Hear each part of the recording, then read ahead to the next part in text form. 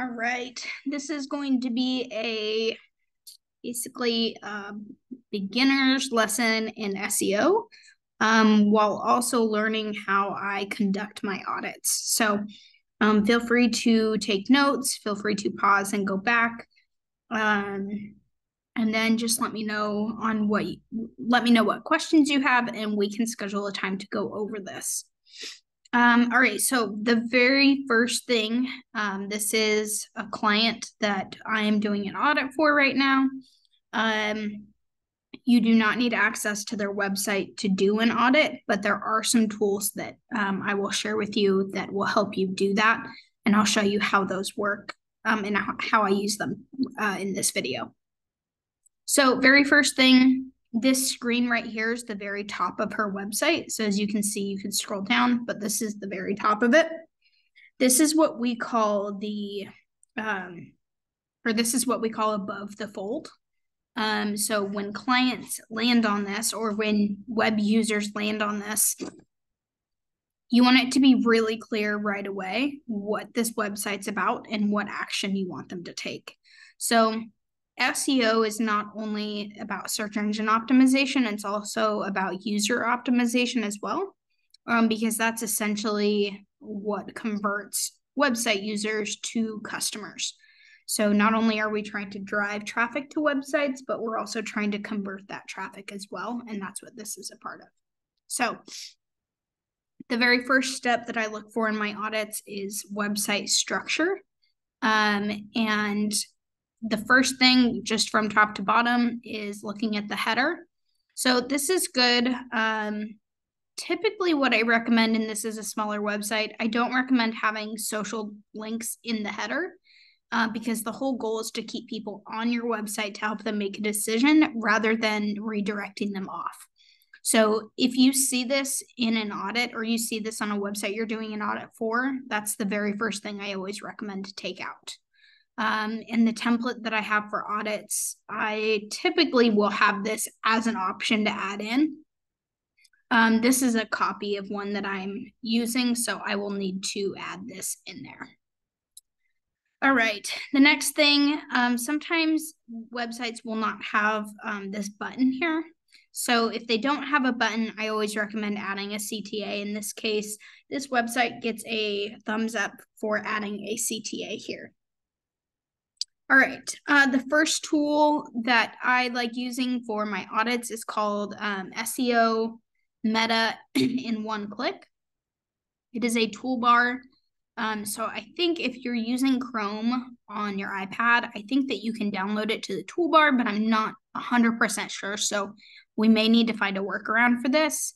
Um, but this shows me the back end of the website without having to actually log into it. So the very first thing that you'll notice is that there is a really short title to the website to this web page and there is no description. So that's going to be something that I'm going to mark down in my audit. And then you're going to click over to headers.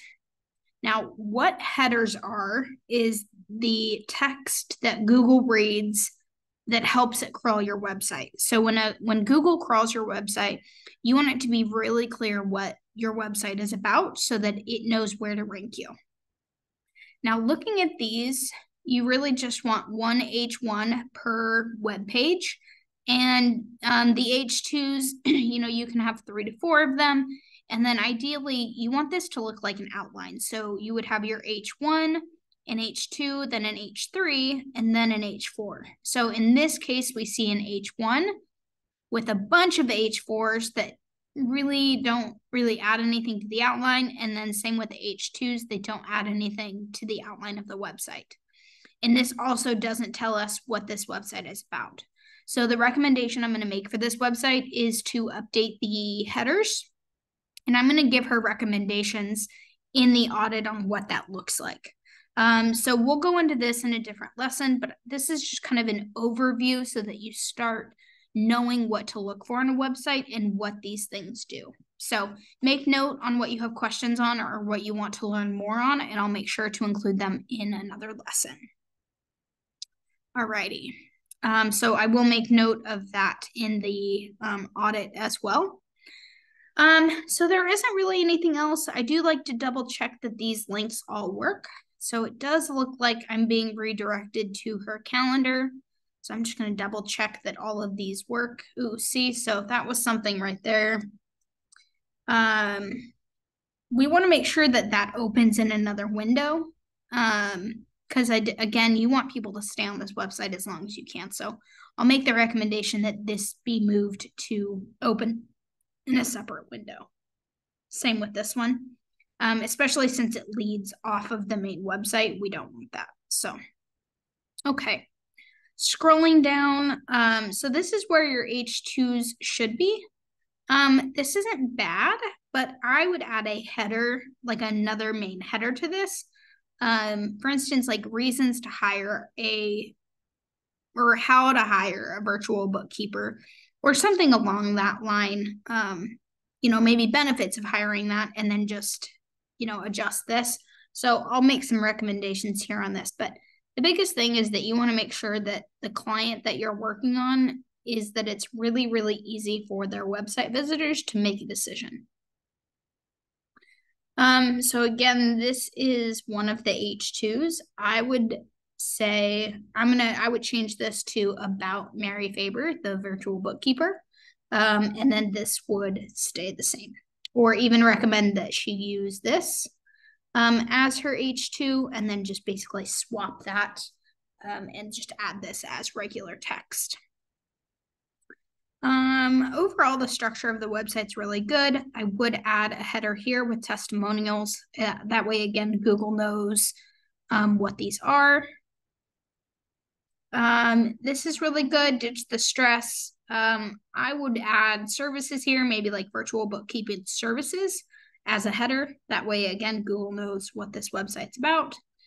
She does do a really good job with buttons throughout the website and then the footer um, these are all, this is all really good. So she's got the form, she has the um, social links at the bottom. Um, overall, this is really easy. This is just a one page website. Um, so this is all there is to this. Um, but if you have any questions, uh, again, just make note of them and let me know, and then we can go over this in more detail um, in a separate call or a separate video.